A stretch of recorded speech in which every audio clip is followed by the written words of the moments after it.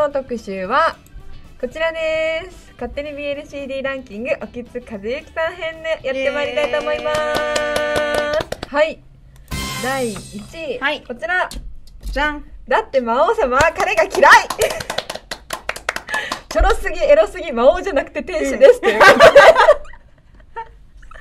もうね私は本当にこの作品大好きで、あの森川さん攻めおきつさん受けという作品になっておりましてもう間違いないんですけど、もうとにかくエロ可愛いおきつさんが、でこの設定としてはこの魔王様というのがまああのポイントでしてなんか現代なんですけど、うん。なんかこう魔王魔王っていうのと、みた勇いな。者と勇者の末裔と魔王の末裔みたいな。だからそのなんか2人は戦わなきゃいけないみたいな、家のなんか教えみたいな感じで戦わなきゃいけないんだけどこの2人がこう出会ってんですけどこの魔王役のおきつさんの役の方は全然その魔王をやりたくないんですよ。うん。魔王とか何みたいな。うん。ですごいなんかみんなにみんなを従わせてしまう能力っていうのがあって、なんかすぐ気づかれるとうん。なんかヤクザみたいな、悪者とかが自分を担ぎ上げて家まで運んでくれるみたいなそういうちょっと変な能力があってもううんざりしてるんですよね。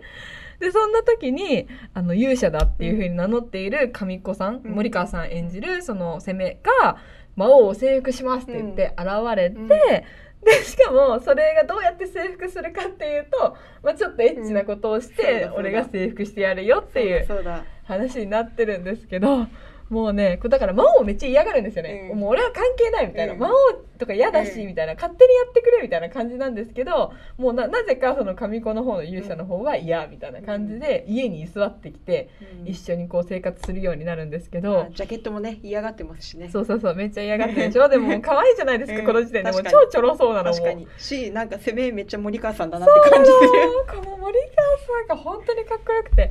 であの結構キャラクター的にその勇者って呼ばれてる方が、なんかちょっと腹黒い感じするんですよ、であのどっちかっていうと魔王の方がピュアピュアというか確かにだ本当は逆かな、うんみたいな感じの2人がこうあの掛け合っていく、うん。テンポ感もこれもすごいいい作品なんですけど、もうあのね本当にあの口の中になんか印みたいなのがあって、それを舐められるとなんかもうそう。弱点だからもそううすぐトロトロになっちゃうみたいな感じの本当に本ろ当にちょろくてめちゃめちゃ可愛いんですよ。でなんかちょもう勇者のこと好きになりかけてるのに、うん。もうそういうのは認めないし、うん。なんか初心恋愛初心者だから、多分うん。自分でも気づいてないですよね。かわい。い しかもちょっと酔うとあのなんていうんですか積極的になっちゃう癖があって、あの自分から絶対またがりに行かないくせにうん。またがりに行って、うん。俺がお前を今日は征服してやるみたいな感じで 俺が勝者だみたいな。かわいいかわいい やっちゃうところとかをそれでもそれその姿を見て森川さん役の神子がもうなんかしょうがねえなみたいな。感じでこう包み込んでくれてる感がすごくあってもうめちゃめちゃ素晴らしいキャスティングの CD になっているなと思いましてもうこちら今3とかまで出てるのかな、うん。多分。全部いいです。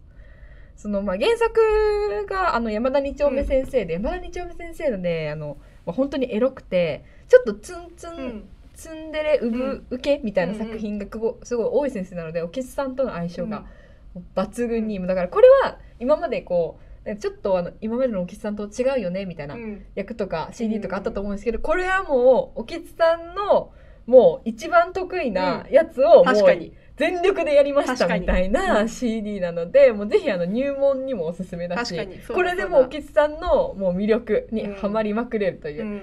一作品になってうん。おりますので、ぜひぜひ皆さんまだ聞いたことない人も絶対聞いた方がいいと思います。これは本当になんか、あんまりヘビーな内容じゃないからないですね。楽しい楽しくコミカルにもう可愛くて笑って、はい。もうね。もう可愛いエロい最高。そう。ハッピーな気持ちになって終わるっていう。そうすごい。でもなんかなんていうんですか軽軽すぎないっていうかちゃんとなんかストーリー性もあって、そこら辺も楽しめる作品になっております、う